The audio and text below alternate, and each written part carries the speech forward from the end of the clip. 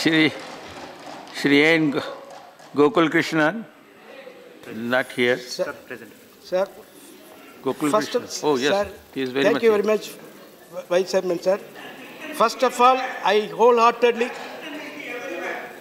please please sir first of all I wholeheartedly support this bill article 46 आपस में बातचीत ना करें आर्टिकल 46 ऑफ़ द कॉन्स्टिट्यूशन व्यवधान उत्पन्न करता है मेरा अनुरोध है कि सर, लंबी बातचीत करने से ये सारी कार्रवाई बाधित होती है।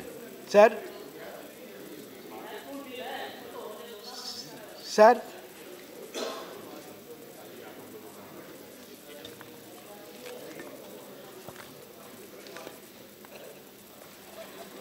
Sir first of all I wholeheartedly support this bill Article 46 of the Constitution states that states shall promote with special care the educational and economic interests of the weaker sections of the people, and in particular of the scheduled castes and the scheduled tribes, and shall protect them from social injustice and all forms of exploitation.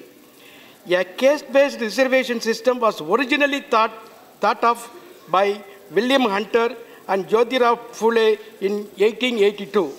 A form of it, is, it was a form of it was implemented by Chhatrapati Shahuji in the year 1901. The system was opposed by Mahatma Gandhi and fasted in protest against it. We need reservation because of the oppression that the lower castes have to suffer at the hands of the upper castes. Therefore, some seats are reserved in the parliament for SC and ST communities.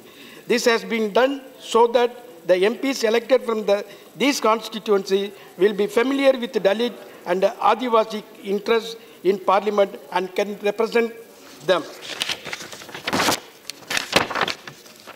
As per the 2011 census, the population of SCs is over 20.13 crores and STs is over 10 crores.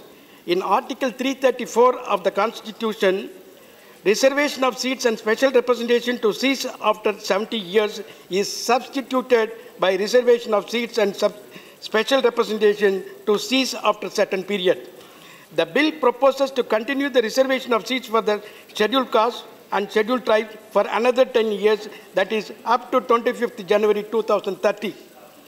While representing the bill in Lok Sabha, the Honorable Union Law Minister Sri Ravi Shankar Prasad ji said, said, and here I quote, reservation is undoubtedly good and it should be good, it should be, it should be going on further.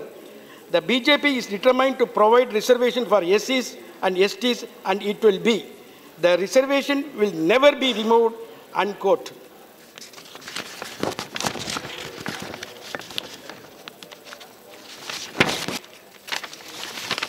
In addition to this, he said the government will bring reservation in judiciary also.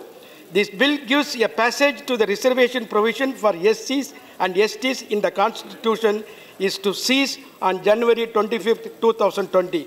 However, the bill did not mention about the ex- extension of reservation for the Anglo-Indian community whose reservation will be ceased on the same date. Out of 543 Lok Sabha seats, 84 seats are reserved for SCs, and in legislative assemblies, out of 4,120 seats, 614 are reserved for SCs.